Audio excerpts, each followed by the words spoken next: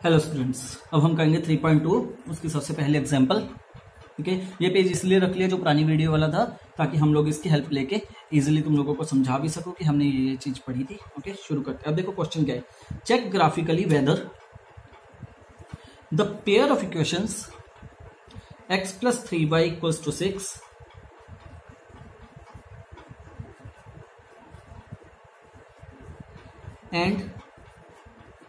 two X minus three Y equals to twelve.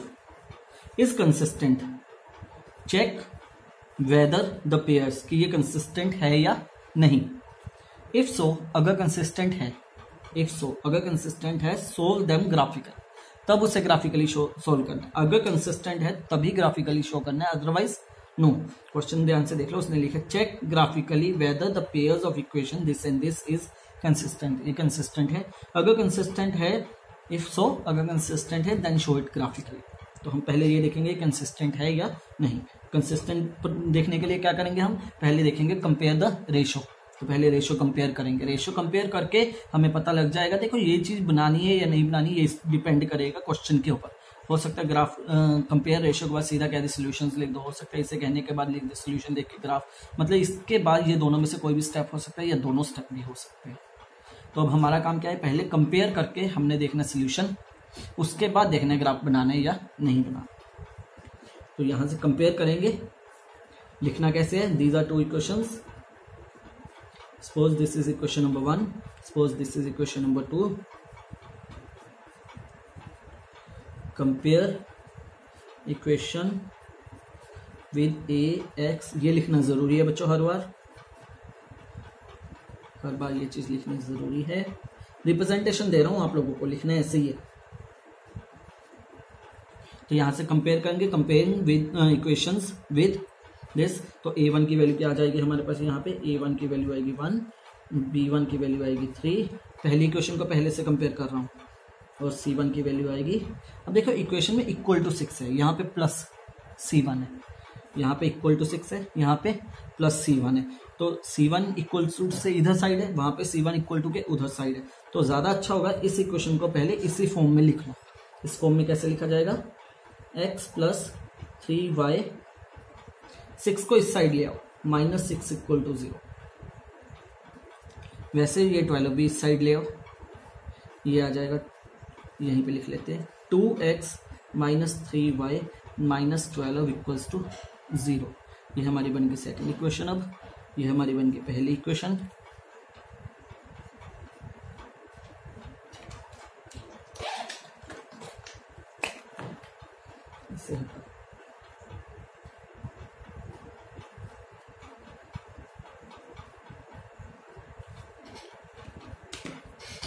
तो सी one की value जब इसको इससे पहली क्वेश्चन से कंपेयर करेंगे सी वन की वैल्यू माइनस सिक्स वैसे ही ए टू की वैल्यू इससे कंपेयर करना है टू बी टू की value minus three c two की वैल्यू माइनस ट्वेल्व तो पहले रेशियोज निकालेंगे a one upon a two कितना आया? One upon two b one upon b two कितना आया? Three upon minus three three upon minus three ये कट करके कितना आ गया? Minus one upon one c one upon c two is equal to minus six upon minus twelve minus minus one upon two अब देखो a one upon a two की value one upon two b one upon b two की value minus one upon minus minus one upon one तो यहाँ से दोनों की ratio बराबर नहीं है तो इसका मतलब सी वन सी टू निकालने की ज़रूरत नहीं थी अभी निकाल भी सकते हो, गलत नहीं होगा इससे, कोई फ़र्क नहीं पड़ेगा। तीनों निकाल लो, चाहे उसके बाद कंपेयर कर लो, उससे भी कोई फ़र्क नहीं। और यहाँ से हमारे पास आ गया a one upon a two is not equal to b one upon b two if a one upon a two is not equal to b one upon b two तो इसका मतलब पहली कंडीशन लग गई यहाँ से। पहली कंडीशन के अकॉर्डिंग आंसर क्या होगा हमारा? So equations have equations have only one solution, that is unique solution. And equations are consistent. Consistent equations are consistent क्यों? मैंने कहा था, अगर एक भी सोल्यूशन हो तो क्वेश्चन क्या होती है? कंसिस्टेंट अब कंसिस्टेंट है? तो इसका मतलब उसने कहा था इफ़ सो अगर कंसिस्टेंट है then make the graph graphically तो अब हम इसका ग्राफ बनाएँगे। अब देखो, पहले ही डिफाइन है कि अगर वो कंसिस्टेंट है, उसका एक सोल्यूशन है तो ग्राफ कौन सा बनेगा? इंटरसेक्टिंग तो तुम लोगों का ग्राफ इंटरसेक्टिंग ही बनना चाहिए। अगर इंटरसेक्टिंग की जगह ये या ये बन गया पैरेलल बन गया तो इसका मतलब तुम लोगों का ग्राफ गलत है। तो याद रखना, जब ग्राफ बनाऊँगा तो तुम लोगों का इंटरसेक्टिंग ग्राफ ही आना चाहिए। अब ग्राफ बनाते हैं। अब ग्राफ बनाना बच्चा तुम लोगों को आता है, इसलिए मैं फटाफट बना रहा हूँ ग्राफ।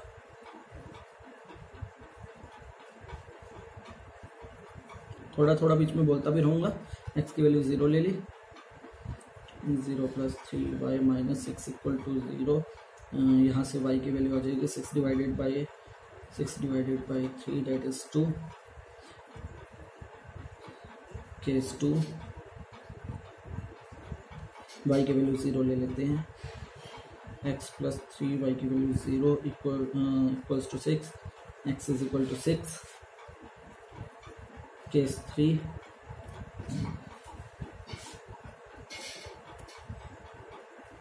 case three में हम वैल्यू ले लेते हैं एक्स की वैल्यू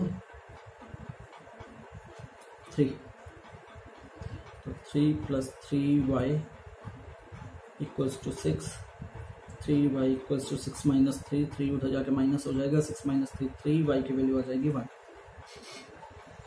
तो यहाँ से हमारा टेबल बन गया।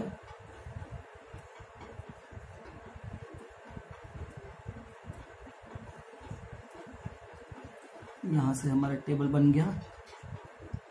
एक्स वाई एक्स की वैल्यू जब ज़ीरो ली थी वाई की वैल्यू आई टू जब एक्स वाई की वैल्यू ज़ीरो ली एक्स की वैल्यू आई सिक्स जब एक्स की वैल्यू थ्री ली तो वाई की वैल्यू आई वन तो ये हमारे पहला केस बन गया।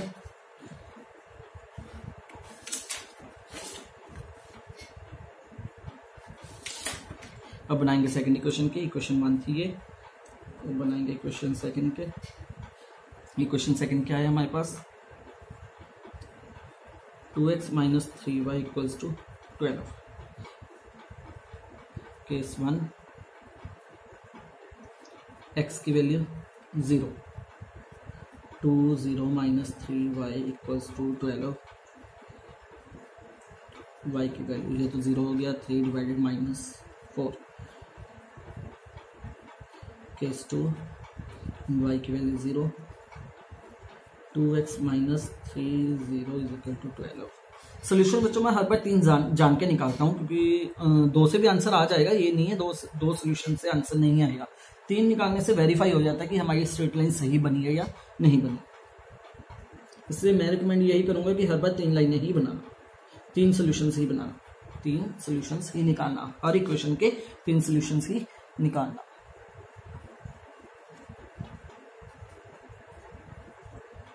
Case 3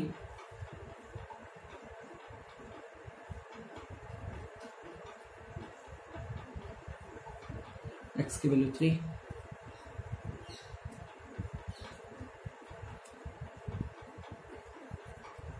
सिक्स उधर जाकर माइनस हो जाएगा सिक्स वाई की वैल्यू आ जाएगी माइनस टू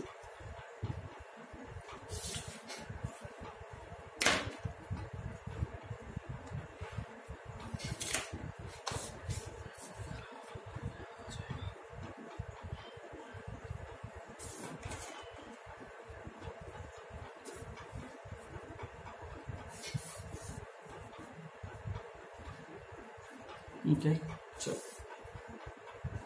यहाँ पे हम अपने वैल्यूज़ लिख लेते हैं।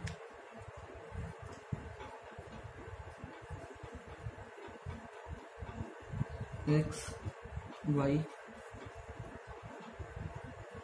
एक्स की वैल्यू जब हमने ज़ीरो ली एक्स की वैल्यू ज़ीरो ली वाई की वैल्यू आई माइनस फोर वाई की वैल्यू जब हमने ज़ीरो ली एक्स की वैल्यू आई सिक्स और जब एक्स की वैल्यू हमने थ्री ली तो y की वैल्यू आई माइनस टू अब हम इसका ग्राफ बनाएँगे। ग्राफ बनाने के लिए पॉइंट्स देखते हैं सबसे पहले। x की वैल्यू सिक्स मैक्सिमम है। y की वैल्यू टू से शुरू शुरू गया माइनस फोर तक चाहिए इसका मतलब माइनस पार्ट ज़्यादा हो। तो माइनस पार्ट वाई का माइनस पार्ट नीचे से होगा तो नीचे से देखते हैं। Minus four minus three minus two minus one zero minus four, minus three, minus two, minus one, zero. ऊपर तक कहाँ जा रहे? हैं टू। वन, टू इजिली मिल जाएगा। अब देखते हैं एक्स की नेगेटिव वैल्यू एक्स की तो कोई नेगेटिव वैल्यू नहीं है। इसका मतलब एक्स का नेगेटिव पार्ट हमें चाहिए ही नहीं। पॉजिटिव देखते हैं। पॉजिटिव सिक्स तक है। One two three four five six easily बन जाएगा।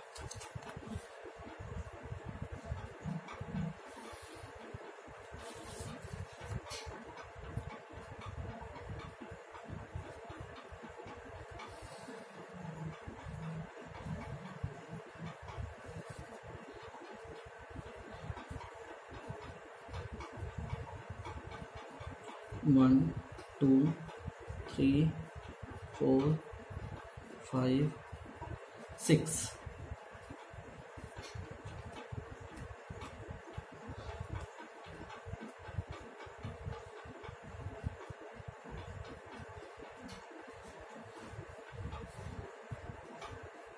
Minus 1 minus 2 minus 3 minus 4 one two three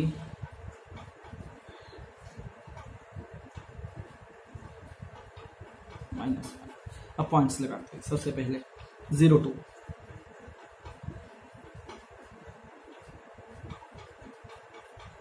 zero two उसका पॉइंट आया, हमारे पास six zero six comma zero उसके बाद थ्री वन थ्री वन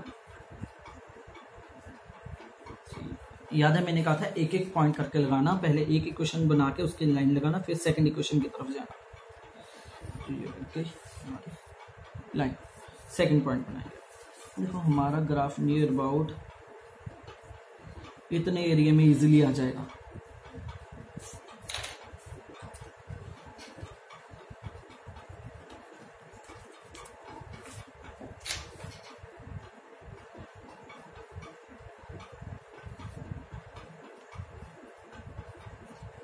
हमारा ग्राफ इतने एरिया में इजीली आ जाएगा हम्म इजीली आ चलो। Zero minus four zero minus four ये रही अपनी पहले ज़ीरो माइनस फोर उसके बाद सिक्स ज़ीरो सिक्स ज़ीरो तो यही पॉइंट आ गया सेम पॉइंट दिस वन इसका मतलब ये इंटरसेक्टिंग पॉइंट हो गया, देखो। ये पॉइंट ये सिक्स ज़ीरो पॉइंट इसमें भी है सिक्स ज़ीरो पॉइंट इसमें भी है। आना तो हमारे पास एक ही सोल्यूशन था। क्वेश्चन के अकॉर्डिंग यूनिक सोल्यूशन था, एक ही सोल्यूशन आना था, वन सोल्यूशन तो इसका मतलब सिक्स ज़ीरो सिक्स ज़ीरो, दोनों में कॉमन पॉइंट है, यही हमारा इंटरसेक्टिंग पॉइंट होगा। Three minus two. Three minus two.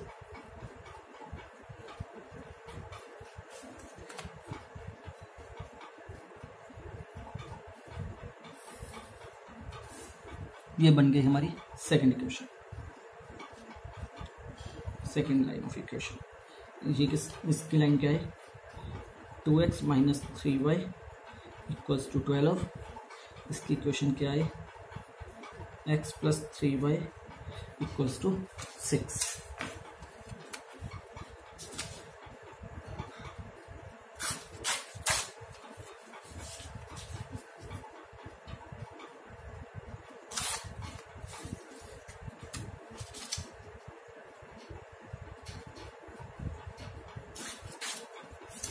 ये हमारा ग्राफ इतने में आ जाएगा?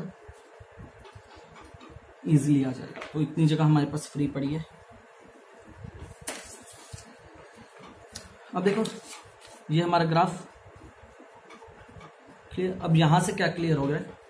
उसने क्या कहा था? अगर इंटरसेक्टिंग हो तो ये।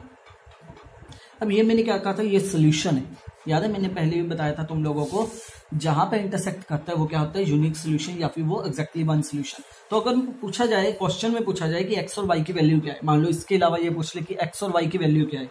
तो ये जो पॉइंट है इंटरसेक्टिंग पॉइंट है, यही एक्स और वाई की वैल्यू होगी। तो एक्स की वैल्यू आ जाएगी सिक्स वाई की वैल्यू होगी ज़ीरो क्लियर जो ये टेबल दिख नहीं रहा है। इस टेबल को यहाँ पे दोबारा बना लेते हैं एक बार। ताकि इजीली विजिबल हो जाए तुम लोगों को।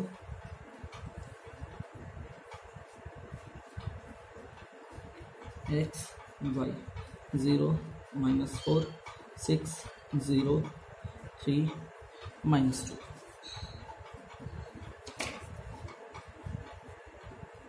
चलो, ये मैं लगा दूँगा बाद में, आगे चलिए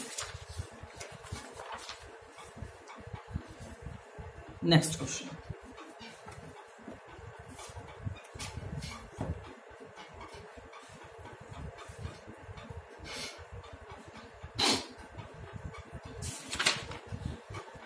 देखो बच्चों यहाँ तक तुम लोगों को कंसेप्ट समझा गया होगा। ठीक है? अब नेक्स्ट वीडियो में हम क्या करेंगे? थोड़ा सा तेज काम करेंगे, क्योंकि यही सब कुछ चलने और कुछ नहीं ग्राफ बनाने हैं। ठीक है? तो थोड़ा सा फास्ट काम करेंगे नेक्स्ट वीडियो में।